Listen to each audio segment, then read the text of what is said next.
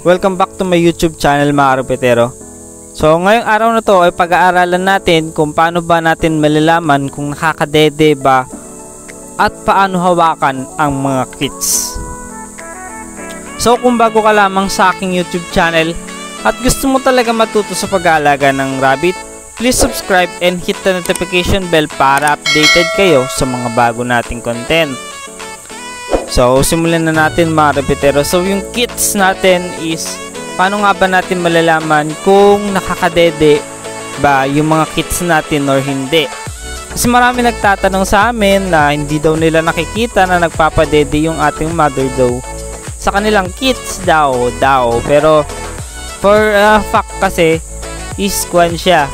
Uh, uh, once or twice a day lang po sila kadalasan po nagpapadede mostly, most likely po is gabi or madaling araw. So, hindi nyo po talaga makikita po or bihira nyong matsyempohan na nagpapadede po yung mother doe. So, nakikita po natin yan. So, paano natin iti-check? So, simulan na natin kung paano. So, first is, syempre, mundahan natin yung ah uh, mother doe. Like yan, meron siyang kits ngayon So bago natin hawakan yung kits is siguraduhin natin hihimasin muna natin yung mother dough. Para makuha natin yung amoy ng mother dough. So ayun nakikita nyo mas maganda kung kumakain po yung mother dough bago natin gawin po yung sinasabi ko pa. So ayun po, medyo ingat lang po kasi matapang po ang dough kapag meron po siyang kits.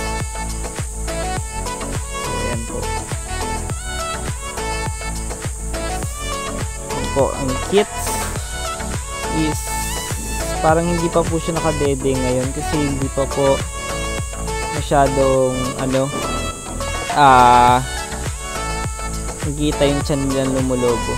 Baka ito hindi nakadede. Babalik natin. Ito ito ito ito, ito. yan po diba ang lalaki Kita nyo po, mabilog po yung chan po nila. Ibig sabihin po niya, nakakadede po yung kits natin.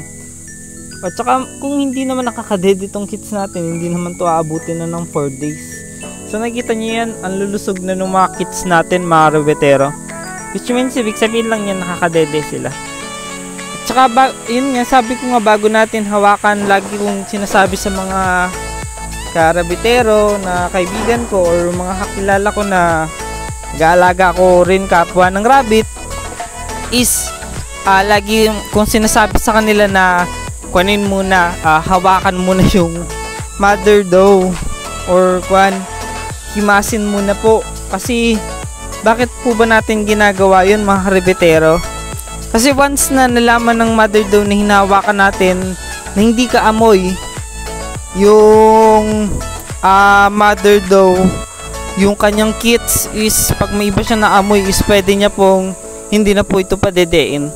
Opo, narinig niyo, pwede niya pong hindi ito padedein kasi uh, pakiramdam niya is na kung sa wild kasi pag ganun po or napuntahan na ng ng predator po or nagalaw na po yung mga kits is kadalasan po hindi na po binabalikan ng mother daw yung kanyang mga kits. Kaya ganyan po instinct po nila. So para ma maiwasan po natin na may ibang amoy yung ating uh, kamay na pwede pong alisan ng mother daw o hindi niya pwede doon yung anak niya is uh, kunin po uh, hiwasin muna po natin. So at saka hanggat maaari po hindi po tayo nagtatagal sa paghawak po ng kits kasi iniwasan din po natin na may stress po yung mother daw So as you can see na kinun ko, saglit ko lang tiningnan yung mga kits. Kasi yun nga, iniwasan ko yung stress. Lalo na bagong panganak. Kasi pag bagong panganak po yan, sobra-sobra po yung stress niyan. Uh, stress po yan sa panganganak. Uh, medyo on pa po yan, uh, hindi pa po nakaka-recover. Siguro one week pagkatapos po mga anak is fully recovered na po sila. Ang rabbit po kasi is, kung po sila, uh, induce, uh, uh, ovulator. Ang ibig sabihin po ng induced ovulator is hindi po sila katulad ng baka or ng kambing na may hinihintay po tayo ng heat season. Sila po once na nanganak pwede po hapon lang is ready to mate na naman po sila. So, ganun lang po kadali yung mga rabbit magparami. Ang problema nga lang po, hindi po natin pinapractice po yun. Kasi, malalaspag po yung ating dough. At saka bababa po yung life na mag uh, life na magagamit natin sa kanila sa pagpapa breeding. Example, ang uh, average is 3 to 2 to 3 years. Baka 2 years pa lang, iwala na, hindi na natin maganda pampalahi yung ating mga rabbit. So, hindi po magandang practice yun, kaya po tayo nagpapahinga po ng dough pagkatapos iwalay ng mga 2 weeks po. Pero depende po sa mga ibang breeder. Yung iba pong breeder is uh, meron po ako na ano eh, 15 days pa lang po habang nandun mismo yung kits pa sa kasama pa po nila yung tinapabreed na po nila. So, uh, sa akin po is, para sa akin po ha, kasi hindi naman po ako kwan eh. May mga ibang breeder na ganun po yung practice, pero ang sa akin po hindi ko po practice yun kasi pag simula nang magpa ano mga anak yung mga rabbit yung ano yung doe yan yan yan yan is pagdating po ng nagpapadede na po yan ng mga 3 weeks ganun po is mga ngayayat po ng sobra yan opo kasi hindi po sila makatulog ng maayos pag nakakaalis na po yung yung mga mga ano mga kits dun sa nest box nila is dedede lang ng dedede sa mother doe tapos tatakbo-takbo, ganun. Ay, kasi minsan ayaw na po nagpadede ni mother daw. Pero pinapabot po kasi natin ng 5 weeks po yung mga kits natin bago po natin hiwalay. Mas maganda po is 6 weeks.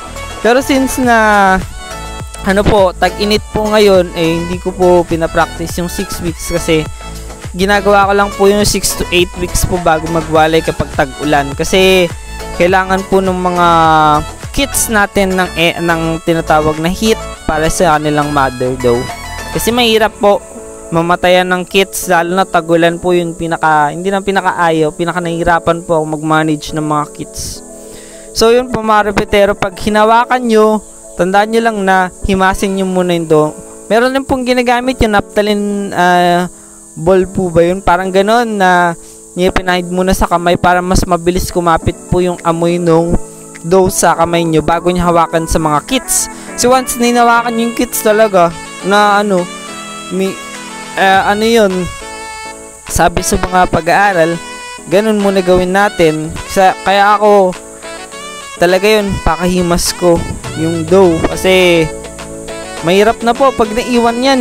Uh, makadalasan gagawin nyo if force uh, feed nyo po yung mga ano mga kits po sa mother dough like ilalagay nyo po dito sa box na to yung mga kits tapos ilalagay rin po yung dough na hawak po yung kanyang batok or yung uh, loose skin or yung extra skin dun sa may kanyang batok yung ila likod ng kanyang tenga ganun po mga karbetero pero that ingat na ingat tayo sa pagkuhan kasi fragile or madali pong ma-fracture po yung mga uh, rabbit natin. Lalo na po yung spine nila.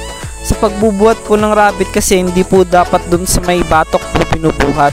Kundi ay mali dapat sa batok po binubuhat yung ano yung rabbit. Kasi pag ginawakan nyo po dun sa may likuran ay nako pag naputol po yung spine niya wala na po tayong magagawa dyan either maging disabled po siya or hindi na niya po magagamit yung hack niya or yung paa niya sa likuran hindi na niya po magagamit yan kapag na-injured po yung spine at saka, syempre, it can cause death kasi spine po yun, nandyan po, nakakonekta yung galing po sa brain or yung tinatawag natin na spinal cord. Kung yung spinal column niya is nabasag or nag-crack or nagkaroon ng fracture, mahirap na po yun. Surgery na lang po ang uh, pwede po natin gawin or ite-therapy natin. So, since na ating alagang rabbit is hindi po for pet or kwan at saka uh, upgraded lang po ah pan na po yon dinidisregard ko na lang at saka kinakal. At saka wala pa naman po akong nagkaroon ng fracture sa spine na sa pag-aalaga ng rabbit. Kasi maingat naman po ako sa pagbubuhat. Sa kung pumapalag binabalik ko lang po sa kulong. So hanggang dito na lang po ang ating mga uh, video. Kung meron po kayong katanungan or suggestion or medyo naguluhan nga ba sa aking mga explanation please comment down below. Tsaka meron po tayong mga link dyan ng mga gamit na useful na pwede nyo bilhin sa Shopee. So ayan po, meron po tayong mga link sa Shopee sa baba para ano like feeder or kung meron sakit ba yung ating rabbit like uh, bloat or nagkaroon ng ng diarrhea nandyan lang po sa baba yung uh, link po na pwede natin bilhan na legit sellers. Kasi since na nakabili na po ako sa kanila is kaya po hindi uh, medyo na-advertise ko na rin po. So ayun mga repetero ah. Tsaka don't forget to subscribe to our channel kasi once na mabot po tayo ng 5,000 subscriber, ay pwede po tayo magbigay ng free rabbit o kaya ng free t-shirt po mga rebetero. Kaya lagi niyong tandaan mga rebetero, uh, don't forget to subscribe uh, para masama natin kayo sa mga list ng mga subscriber natin na kukuha tayo na random na pwede nating bigyan ng t-shirt or ng free rabbit. So tandaan. So salamat sa pakikinig mga rebetero. Laging tandaan, mag-ingat na lang po sa pag uh, paghawak ng mga kits at saka ng dough